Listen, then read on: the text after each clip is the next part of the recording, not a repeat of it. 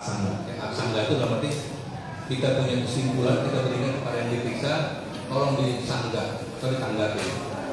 Itu wajib Pak. Wajib. Dalam standar pemeriksaan itu wajib dilakukan. Ya. Oke. Eh, saya ingin bertanya apabila standar-standar tersebut itu tidak terpenuhi dalam sebuah pemeriksaan, kira-kira pemeriksaan itu bisa digunakan nggak Pak?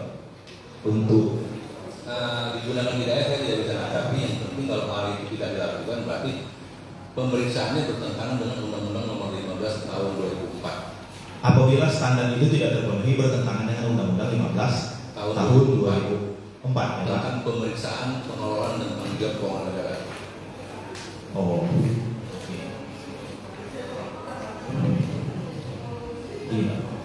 Apa saja Pak yang dapat dikatakan data lengkap bila perhitungan?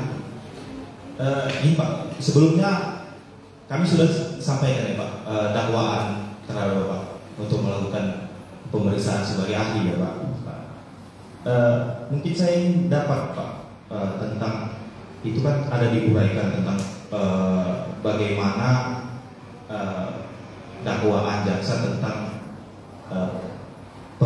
itu dilakukan tahun 2017, 2018 dan 2019 dalam hal perkara ini.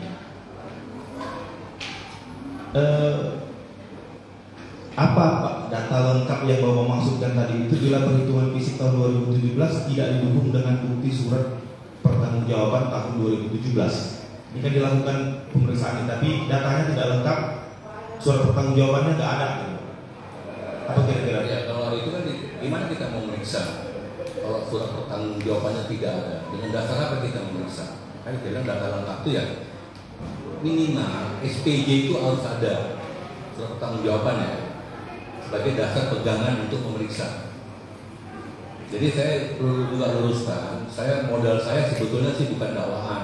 Jadi saya ada dakwaan karena saya ahli akuntansi ahli audit dan sebagai seorang auditor modal saya di dalam ahli di dalam perkara mana pun modal saya adalah hasil auditnya. Hasil audit. iya laporan hasil audit perhitungan kerugian negara itu yang menjadi modal saya di dalam persidangan. Kalau dakwaan itu hanya untuk menambah eh, membandingkan saja.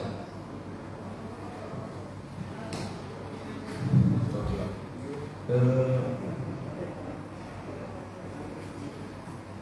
ini Pak, saya mau ke apa akibat dari perhitungan kerugian yang dilakukan tidak dengan mendukung bukti lengkap?